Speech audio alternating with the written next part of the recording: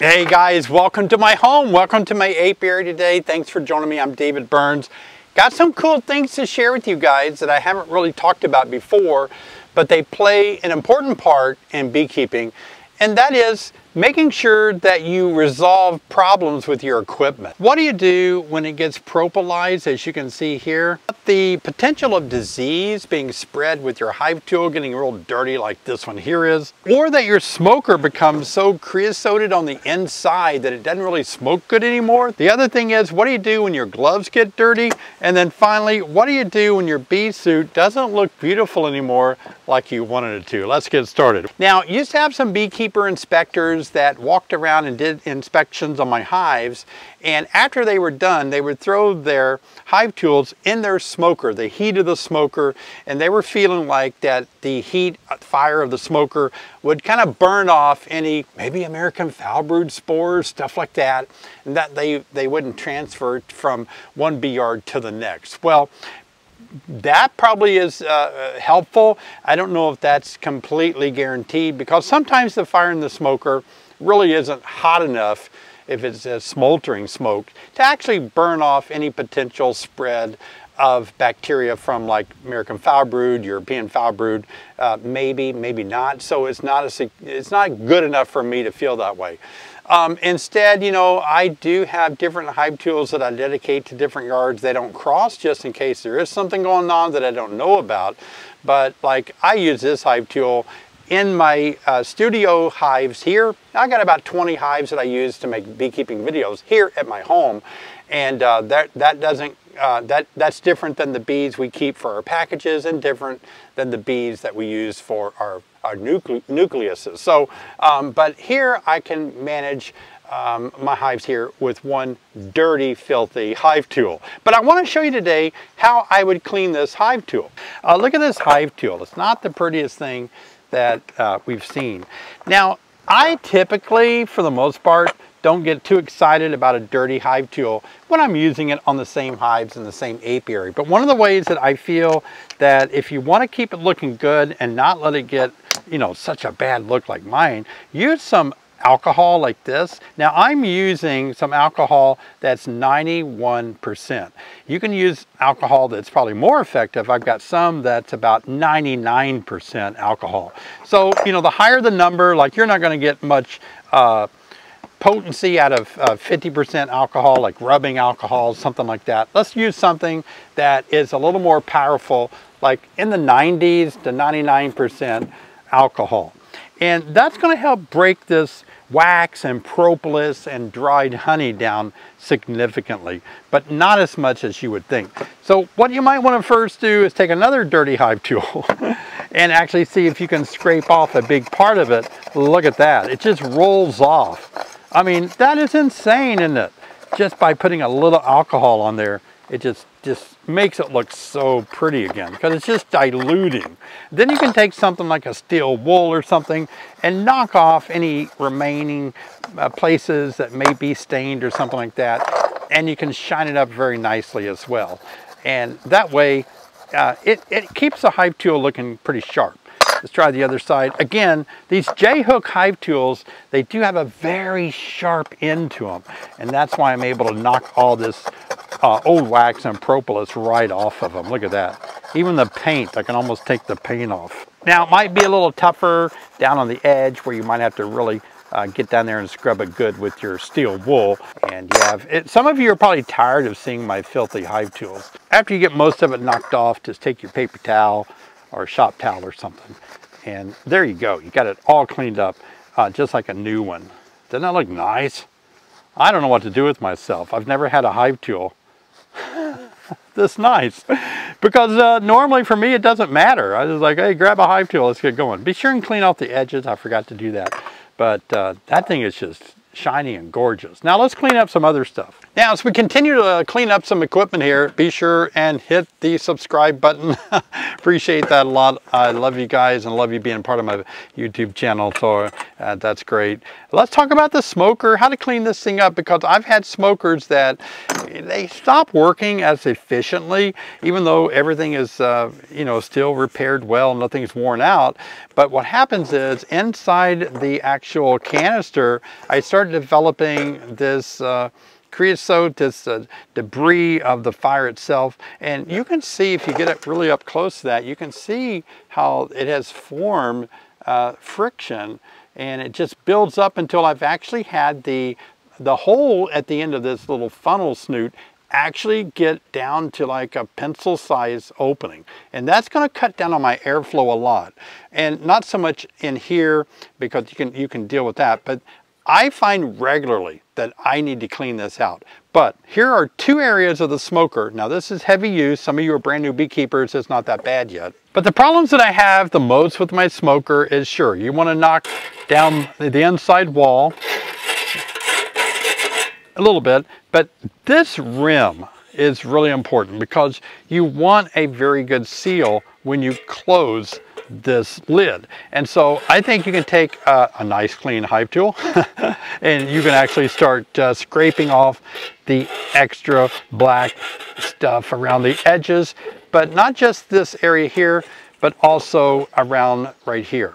If it builds up and it's not making a good seal anymore, it's because this is holding the, the chance of it sealing good. And I know we're kind of getting technical. Yeah, a lot of you might be thinking, that's stupid, I don't want to mess with that. My smoker works fine. But you know, take a moment and just kind of keep your equipment in good repair, especially if you start developing issues with it. Now this is the new smoker and you can see already it's, it is starting to build up. Now once you do the um, outside of the canister, be sure and do the inside of this lid because that's where stuff develops. Now this is the biggest problem that I'm wanting you guys to see right here is you need to scrape along the inside and knock down anything that's built up preventing the seal and then get in here and scrape all of this stuff out that's kind of tall. You can see that it's gotten to be a, quite a problem.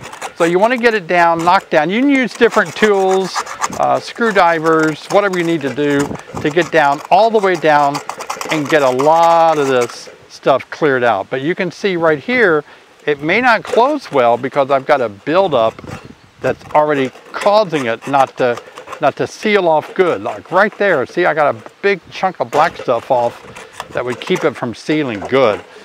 And I think that's going to help you a lot if you can just take a moment, um, not, not every time, but you know, once a month or something, just go through here and kind of knock down all this carbon stuff that's built up from smoker fuel. Different fuel leaves a lot of this behind and certainly my, my burlap does.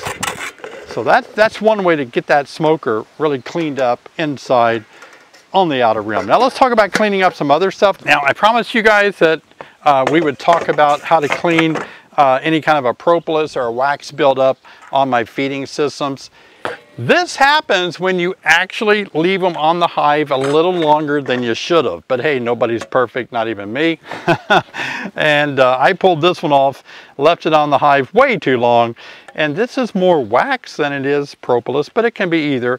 And so one of the ways that I have found that's really helpful to get rid of this is to, again, take your alcohol uh, in the 90s, 91, 99% alcohol, you know, percent and just kind of put some alcohol on that wax right there. I like using it because it dries pretty quick so you don't have to worry about chemicals hurting your bees. It just evaporates out. But you can let that soak a minute and once you kind of get that alcohol on there, it starts to break down the propolis or the wax a little bit. And I'm going to show you how easy it is to do this because some of you have had this happen. Now this happens to me when I stop feeding them and it's just sitting on there empty without any uh, food on there, they don't have a use for it and they just start, you know, propolizing it or waxing it up. And you can see already it's starting to break uh, some of this down. So once you put that on there, um, it, it kind of cools it. It kind of makes it uh, a little easier to get off. And so you leave it on there just a minute, wipe it off if you want to, But what you do next is just, you know, take your new pretty hive tool or something. And it's amazing, watch this. You can actually do use your finger, but if you start scraping it like this, watch how easy it comes off. You ready? Look at that.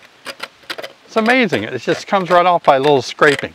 Now, if you let the alcohol sit down there a little bit longer, it will come off even easier. so I, I kind of jumped the gun just for the sake of the video to show you uh, it works really well. But I, I let some of this sit on there for 10 or 15 minutes and I can actually just use my finger like this after, after letting it soak a little bit longer and it comes off that easy. Isn't that incredible? These are great tips, aren't they? Man, Yep. I know that some of you were asking me, what do I do if this gets kind of propolized or waxed up like that? Yeah, and again, the important thing is try to get it off the hive before the bees are, are you know, kind of done using it. That way they won't do that.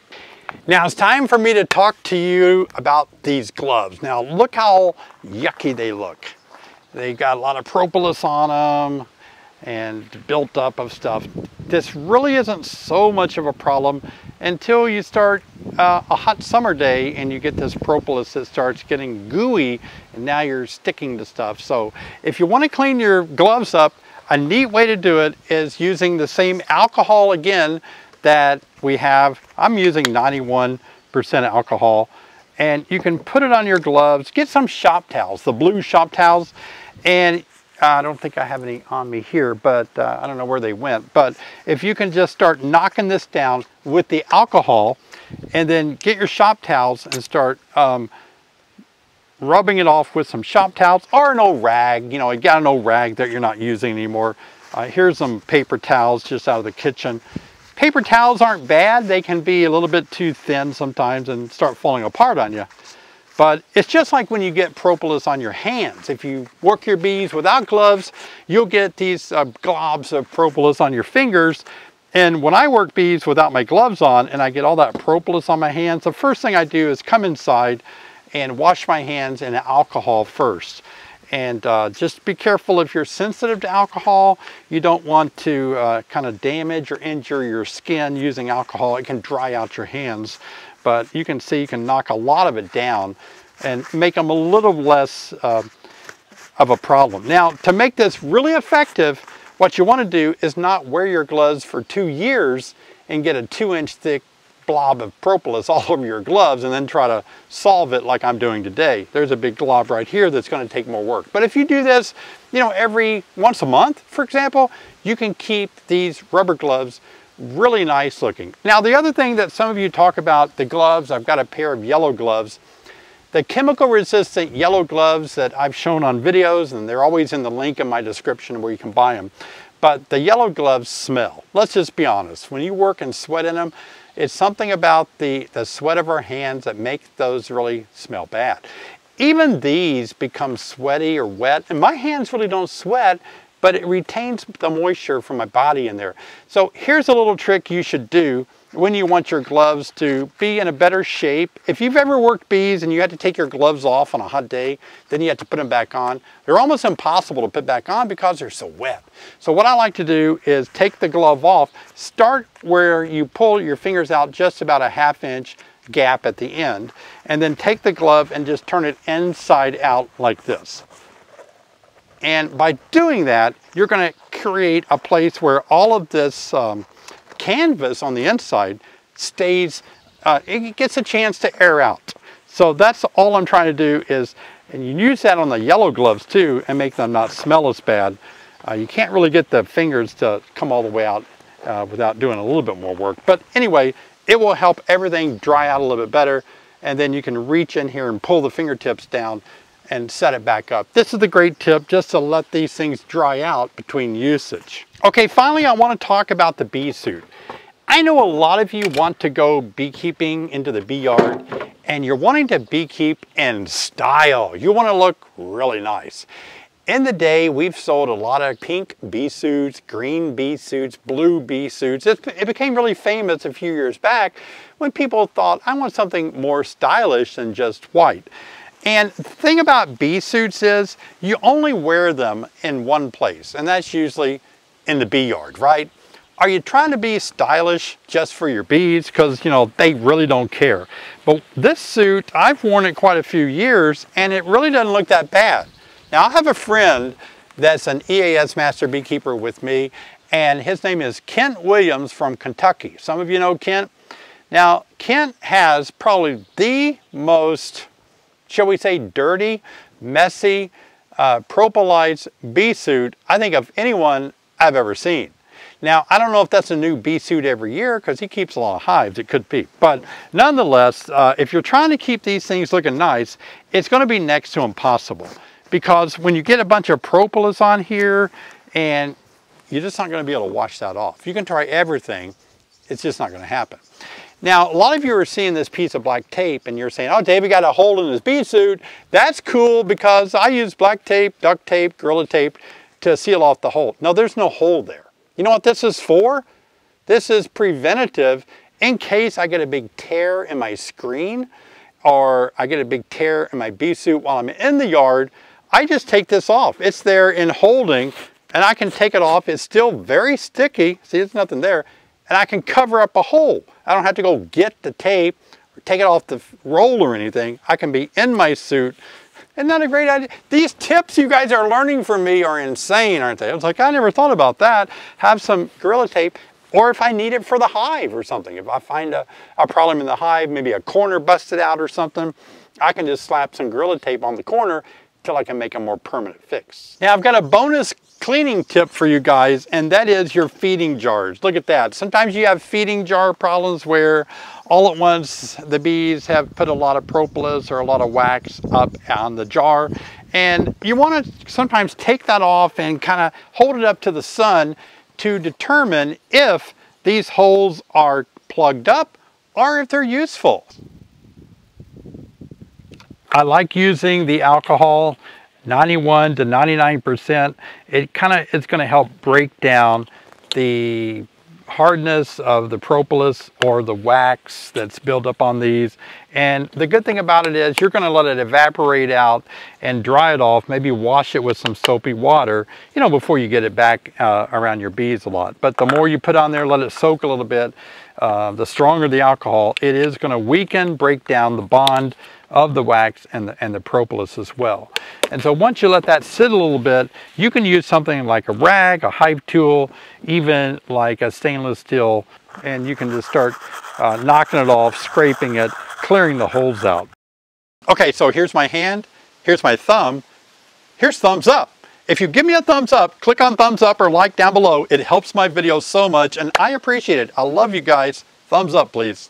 And after a while, no more expensive than these are, I'm okay with just replacing them after two or three years. You can open up the holes a lot better and just knock out knock out some of these uh, holes that are plugged up. Now, if the holes stay plugged up after you've cleaned off the outside, I recommend taking something like a nail or a drywall screw or something, and you don't have to make the holes any bigger. You just try to want to just try to knock out whatever's blocking them. But you get the idea. Pretty typical stuff. Knock off the, the bulk of it. Uh, use alcohol to kind of clean it, scrape it off, and then you can use your a nail or something to open these holes back up. So many of you have been wanting to get into Bee Team 6, a mentorship, coaching, beekeeping program that I developed seven years ago. It's been full, but we made some changes. We're opening it up for more of you to join. So look at the link in the description below and sign up for Bee Team 6. I want to give you a secret, kind of a disappointing moment maybe for you, but when you email the website, you're not talking to me. My staff tries to answer your questions. A lot of you always say, Dear David, or thanks for answering my question, David. I'm sorry, I just can't do that. There's too many emails coming in. Hundreds a day. Thank you for trying. But if you want to talk to me directly, easy way to do it. You can talk to me on live stream on Thursday night, 7 p.m. Central Time. You can ask me questions there or be a part of my Bee Team 6 mentorship program, which we made some changes and opened it up for a while. So now more members can join. You've been waiting, you've been asking, you've been wanting to be put on a wait list for Bee Team 6. Sign up before it closes, Bee Team 6. Also, I want to tell you about June tips things you should be doing in the month of June. I'm pumped and excited as you can tell. I don't want you to miss out and make June mistakes. Here's a video on what you should be doing in the month of June. Guys, see you over there.